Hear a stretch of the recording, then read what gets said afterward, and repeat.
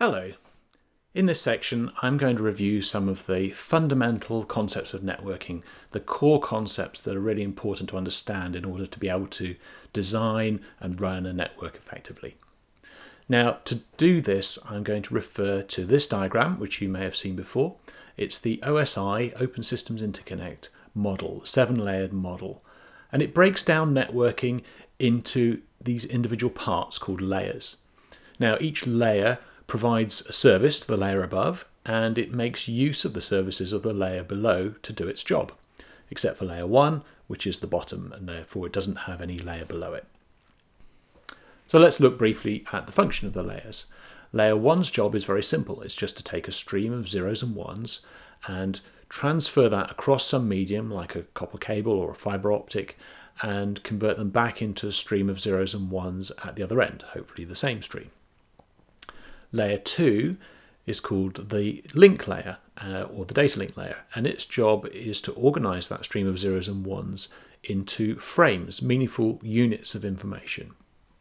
And those frames may also contain addressing information so that a frame can be received by one particular device but ignored by other devices.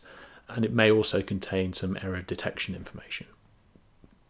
Now, layer 2 is what we use for building uh, local area networks or LANs. Layer 3 is the network layer or internetwork layer.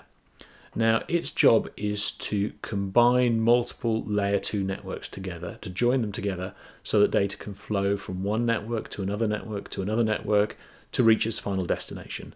And it's layer 3 that allows us to build a global scale WAN, in other words, the internet. Layer 4 adds the ability to address data to a specific process running on a machine. And layer 4's job can also include taking large amounts of data, breaking them up into smaller datagrams that are suitable for layer 3 to deliver, and to reassemble them, and also to retransmit data when there's an error. Layers 5 and 6 you don't have to worry about because they're not actually used in the Internet Suite. And layer 7, the application layer, is the actual job you were trying to do in the first place. So, for example, a web client tries to fetch a, a web page from a web server, or an email server wants to deliver an email message to another email server.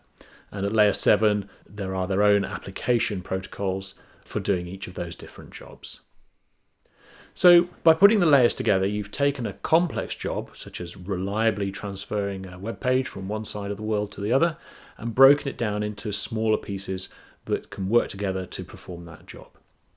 Now, this layered model is not just some theoretical model. It very much demonstrates exactly how the networking is working. And if you look at packets being transferred across a wire with a, a tool that will read and analyze them, such as Wireshark, you can actually see different parts of the packet that belong to each of these different layers, each doing the jobs that those layers need to do.